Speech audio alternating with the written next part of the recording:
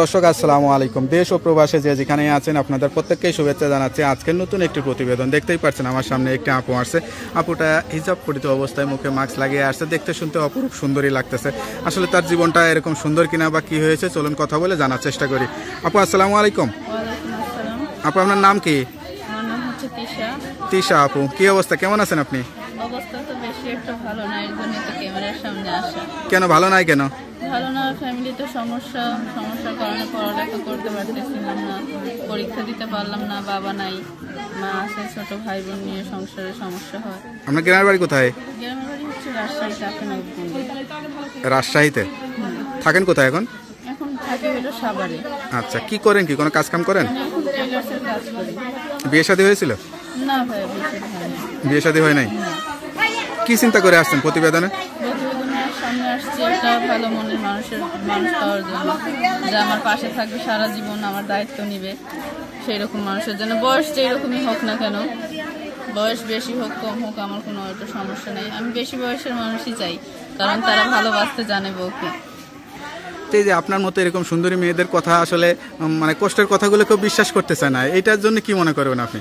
মনে করতে চাই যে যে বিশ্বাস করতে চায় না বা যারা বিশ্বাস করতে চায় না আমি হ্যাঁ। এখানে থাকি ডাইরেক্ট আমার সাথে এসে সামনাসামনি ফেস টু ফেস দেখা করবে সমস্যা নেই। হ্যাঁ, হ্যাঁ। দেখা করার পরে একজন মানুষের প্রতি একজনের বিশ্বাস জন্মাবে আর একজন একজনের সাথে যখন কথা বলবে যদি বিশ্বাস জন্মায় তখন আসবে আসা মনে করেন দূর থেকে আসতেও চায় না বিশ্বাস করতে চায় না জন্য আসতে চায় না। আয়সা একবার দেখেন কারণ আচ্ছা, হাতের পাঁচটা আঙ্গুল সমান না সব মানুষ একরকম তো হয় না।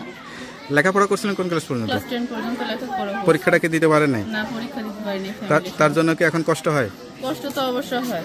লেখাপড়ার এসএসসি পাস করতে পারলে তাদের ভালো চাকরি বাকরি করতে পারতেন। চাকরি বাকরি যে করতে যাও ভাইয়া নানান জায়গার নানান ছেলেরা নানান ধরনের খারাপ হলো প্রস্তাব দেয়। তো চাকরি বাকরিও করতে যাইতে পারি না। আচ্ছা আচ্ছা। এর আগে প্রতিবেদনে আসছিলেন? প্রতিবেদনে আসছিলাম কিন্তু আমার ওই ফোনটা আর কি সমস্যা হয়ে যাওয়ার কারণে আচ্ছা, আচ্ছা। প্রতিবেদনটা আর কি যা বলতেছেন সব সত্যি কথা বলতেছেন তো? সত্যি কথা আর কখনো কি ইচ্ছা ছিল যে একটু মিডিয়াতে কাজ করা অভিনয় করা এরকম কোনো শখ স্বপ্ন ছিল? ওইরকম স্বপ্ন তো ছিল না কারণ মনে করেন যে ওইরকম স্বপ্ন নিয়ে তো আর ওইরকম জন্মায় না কিন্তু যদি চান্স পায় তাহলে তো মানুষ সেই চান্স আর কি হাত ছাড়া করে না। আচ্ছা আচ্ছা আচ্ছা আচ্ছা। মানে এখন কোন সুযোগটা চান আসলে? আমি চাই যে একজন মানুষ আমার পাশে থাকবে সারা জীবনের জন্য যে আমার দায়িত্ব নেবে। হ্যাঁ মানে আমার মাথার উপর বট গাছে ছায়া হয়ে দাঁড়াবে সেরকম একটা মানুষ। সেরকম একটা সুযোগ চান তাই না? সা- সারা জীবনে সুখ দুঃখের সাথী হবে সংসারে কাজকর্ম সবকিছু পারবেন তো? রান্না বান্না করতে না করে বিয়ে করলে আবার কাজের মেয়ে রেখে দিতে হবে। না না না আমি সব কাজ পারি সমস্যা আচ্ছা আচ্ছা। তো আপনার সঙ্গে কীভাবে যোগাযোগ করবে? আমার ফোন নাম্বার মাধ্যমে। নাম্বারটা মুখস্থ আছে? আপনি স্ক্রিনে দিয়ে দিবেন। আচ্ছা তো নাম্বারটা আমার কাছে দিয়ে আমি ভিডিওর মধ্যে দিয়ে দিব। আর কেউ যদি দর্শক আসলে আপুর সঙ্গে সরাসরি যোগাযোগ করতে চান তার ঠিকানায় এসে যোগাযোগ করেও দেখা সাক্ষাৎ করতে পারবেন। অযথায় খারাপ মন্তব্য বা খারাপ ডিসিশনটা না নেয় আমি মনে করি ভালো। আপু দেখতে শুনতে সব দিকটাই ঠিক আছে। কেউ সরাসরি সাক্ষাৎ করে বিয়ে শাদী করাটাই ভালো। আপনি কি মনে হয়। হ্যাঁ হ্যাঁ সমস্যা সেটাই। আমি সবার থাকি এসে আমার সাথে সরাসরি যোগাযোগ করে আচ্ছা কি বলতে চান দেশ বিদেশ থেকে যারা দেখবে তাদের দেশ বিদেশ থেকে একটাই অনুরোধ যে ভাইয়ারা আমার ফোন যদি অফ থাকে আমি তো কাজ করি অফ থাকে তাইলে কেউ ভুল মাইন্ডে নেবেন না যে আমরা প্রতারণা করি হিনতেন।